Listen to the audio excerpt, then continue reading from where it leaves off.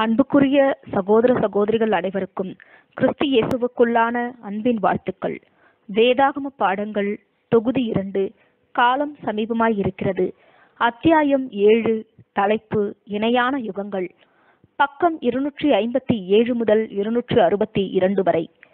யூதயுக அறுப்பில் தூதர்களாக தெரிந்து கொள்ளப்பட்டு சமீபமாயிருக்கிற ராஜ்யத்திற்கும் ராஜாவிற்கும் தூது கொடுப்பதற்காக அனுப்பப்பட்டவர்கள்.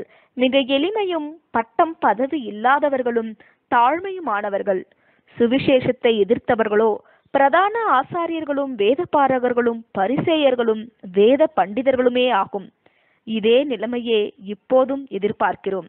யூத யுகத்தில் அவர்களை சந்திக்கும் காலத்தை அவர்கள் அறியாமல் போனது போல இப்போது வேத ஞானிகள் குருடருக்கு வழிகாட்டும் குருடராய் இருக்கிறார்கள் லூக்கா பத்தொன்பதாம் அதிகாரம் நாற்பத்தி மூன்றாம் வசனம். கிறிஸ்துவின் பிரசன்னமும் சிலுவையும் அவர்களை சோதிக்கும் அம்சங்களில் முக்கிய காரியங்களாக இருந்தன. யோவான் ஸ்தானன் நீங்கள் அறியாதிருக்கிற ஒருவர் உங்கள் நடுவில் நிற்கிறார் என்று பிரசங்கித்தான். எனினும் உத்தம இஸ்ரேலர்கள் மட்டுமே மேசியாவின் பிரசன்னத்தை உணர்ந்து கொண்டார்கள். இவர்களிலும் பலர் சிலுவையின் நிமித்தம் இடறினார்கள். ஏனெனில் மேசியாவை ஒரு மீட்பராக ஏற்றுக்கொள்ள மனமிருந்தாலும் அவர்களது பெருமை மேசியாவை மீட்கும் பொருளை கொடுத்தவராக ஏற்றுக்கொள்ள விருப்பமில்லாதபடி அவர்களை செய்தது. அதேபோல் இங்கேயும் கிறிஸ்துவின் பிரசன்னமானது அறுப்பு நடைபெறுகையில் அநேகம் பேர் கிறிஸ்தவ ஞானிகளால் ஏற்றுக்கொள்ள மறுக்கப்பட்டு பலரை இடரும்படி செய்தது.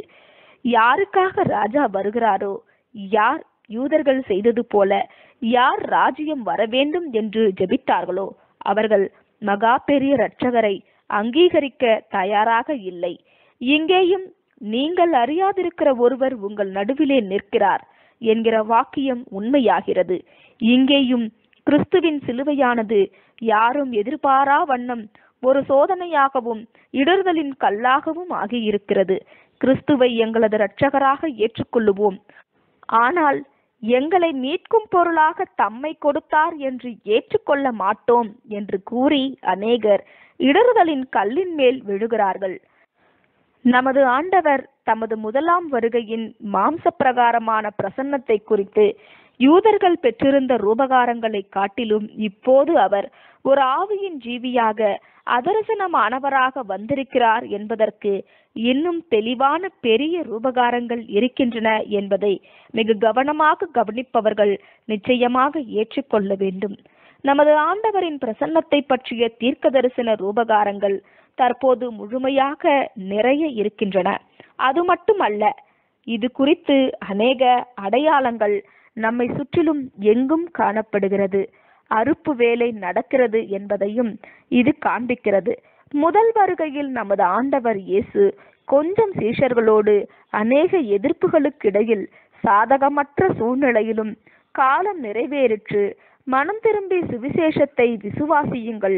பிதாக்களோடு செய்த வாக்குத்தத்தங்களை நிறைவேற்ற எகோவா தேவனின் தூதராகிய மேசியா வந்திருக்கிறார் என்று பிரசங்கித்தார்.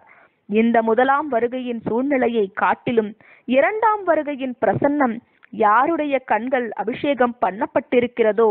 வெளிப்படுத்தல் மூன்றாம் அதிகாரம் பதினெட்டாம் வசனம். அவர்களுக்கு சந்தேகத்திற்கு இடமில்லாமல் தெளிவாக தெரிகிறது. என்ன ஆச்சரியம்!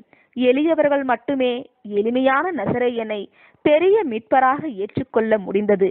அதாவது எளிமையானவர்களே அவரால் தெரிந்து கொள்ளப்பட்ட சபையில் இடம்பெற்றனர்.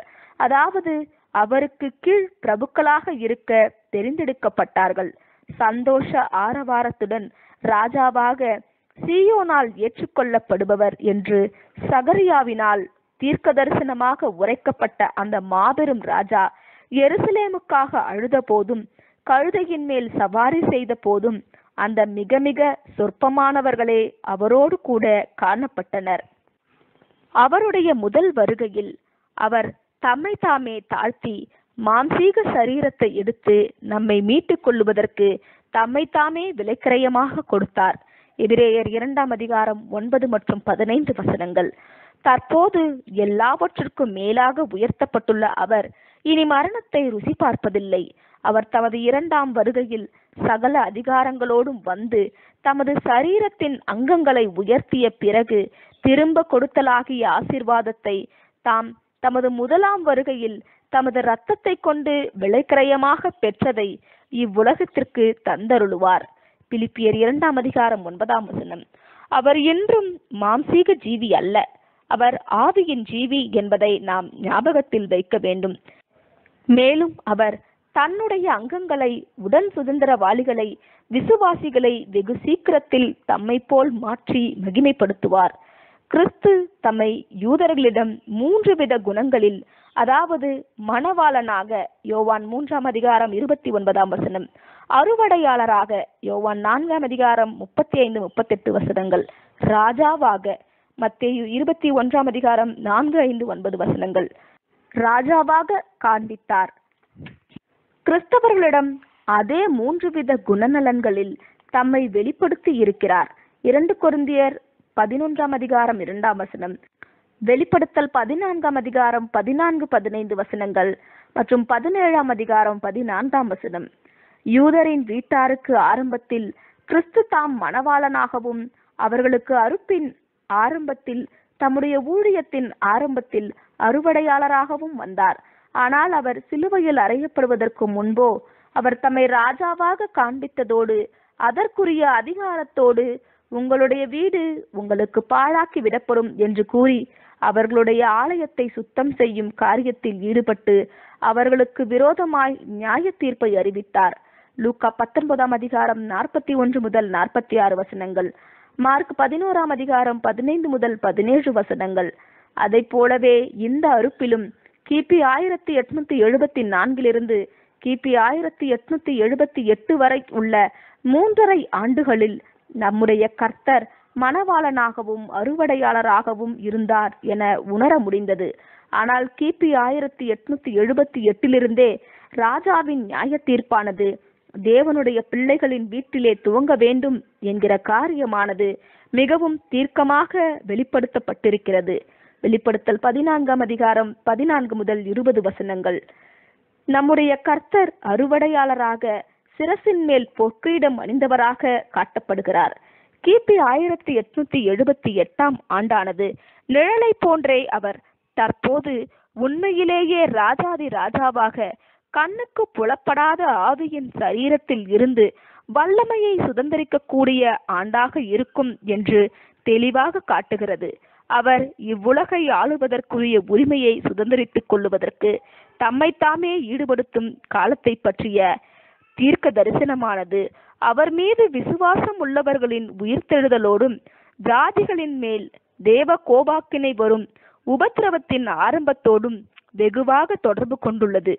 வெளிப்படுத்தல் பதினொன்றாம் அதிகாரம் பதினேழு பதினெட்டு வசனங்கள். நாங்கள்தான் உண்மை சபை சரீரம் என்று வெளிப்படையாக காட்டக்கூடிய பெயரளவில் இருக்கிற அமைப்புகளை மக்களை அல்ல அமைப்புகளை அழிவுக்கு உட்படுத்துகிறது. இப்படிப்பட்ட மக்களிடம்தான் நியாய தீர்ப்பானது நிழலில் காட்டப்பட்டது போல முதலில் ஆரம்பிக்கப்படுகிறது. உண்மையான சபையை கிறிஸ்துவின் சரீரத்தை தம்மை தாமே தத்தம் செய்த வகுப்பாரை அதாவது உண்மையான ஆலயத்தை தத்தம் செய்யக்கூடிய காரியம் இங்கு நடைபெறுகிறது. ஒன்று குருந்தியர் மூன்றாம் அதிகாரம் பதினாறாம் வசனம் வெளிப்படுத்தல் மூன்றாம் அதிகாரம் பனிரெண்டாம் வசனம். பேர் சபையில் இருக்கக்கூடிய தம்மை தாமே ஜீவபலியாக ஒப்பு கொடுத்தவர்கள் முழுவதுமாக பேர் சபையோடு தொடர்புள்ளவர்களாக இருக்கிறார்கள். ஏனெனில் சொல்லர்த்தமான ஆலயமும் புனித நகரமுமாகிய எருசலேமோடு முழுவதுமாக தொடர்புடையதாக இருந்தது. நகரமானது ஒப்பு கொடுக்கப்பட்ட போது ஆலயமானது பரிசுத்தமாக்கப்பட்டது. அதை போலவே தற்போதைய ஆலய வகுப்பாரும் சுத்திகரிக்கப்பட வேண்டும்.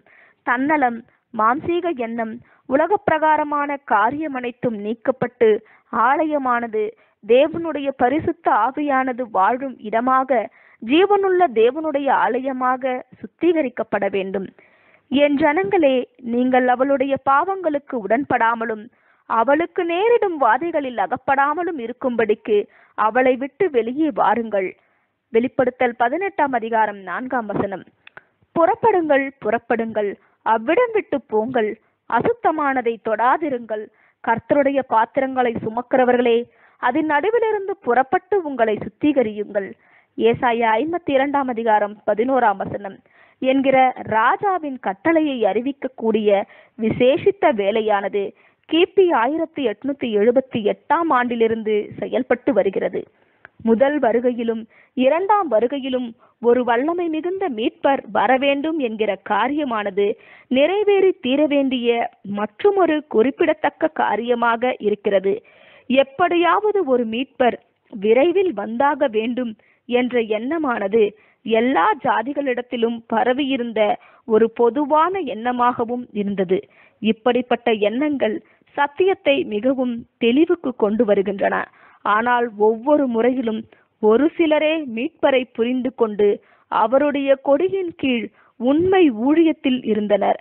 யூதரின் அறுப்பில் அபிஷேகம் பண்ணப்பட்டு தமது ஊழியத்தை ஆரம்பிப்பதற்கு முப்பது ஆண்டுகளுக்கு முன்பு அவருடைய பிறப்பின் போது நமது ஆண்டவரை சந்திப்பதற்காக அநேகர் எதிர்பார்த்திருந்தனர். லூகா மூன்றாம் அதிகாரம் பதினைந்தாம் வசனம். இதை போலவே அவருடைய இரண்டாம் வருகையிலும் அமெரிக்கா பாப்டிஸ்ட் சபையை சேர்ந்த சகோதரர் வில்லியம் மில்லர் ஐரோப்பா மற்றும் ஆசியாவில் சகோதரர் உல்ஃப் மற்றும் பலரும் சில அமைப்புகளும் கிறிஸ்துவின் இரண்டாம் வருகையை எதிர்பார்த்தனர். கிறிஸ்து யூபிலி பாடத்தில் காட்டப்பட்டதைப் போல மணவாளனாகவும் அறுவடையாளராகவும் பிரசன்னமான கிபி ஆயிரத்தி எட்நூத்தி எழுபத்தி நான்காம் ஆண்டிற்கு முப்பது வருடங்களுக்கு முன்பு கிபி ஆயிரத்தி எட்நூத்தி நாற்பத்தி நான்கில் இது உச்சகட்டத்தில் இருந்தது. இக்காரியத்தில் இந்த இரு யுகங்களுக்கும் பொதுவான பளிச்சிடும் ஒரு இணையான காலப்பகுதியை பார்க்கிறோம். அதாவது கிபி ஆயிரத்தி எட்நூத்தி நாற்பத்தி நான்குக்கும் கிபி ஆயிரத்தி எட்நூத்தி எழுபத்தி நான்கிற்கும் இடைப்பட்ட முப்பது வருட காலப்பகுதியானது. கிறிஸ்துவின் பிறப்பிலிருந்து அவர் ஞானஸ்தானம் பெற்று அபிஷேகம் பண்ணப்பட்டு மணவாளனாக அறுவடையாளராக ஆகும் வரையுள்ள முப்பது வருடங்களுக்கு பொருத்தமாக இருக்கிறது.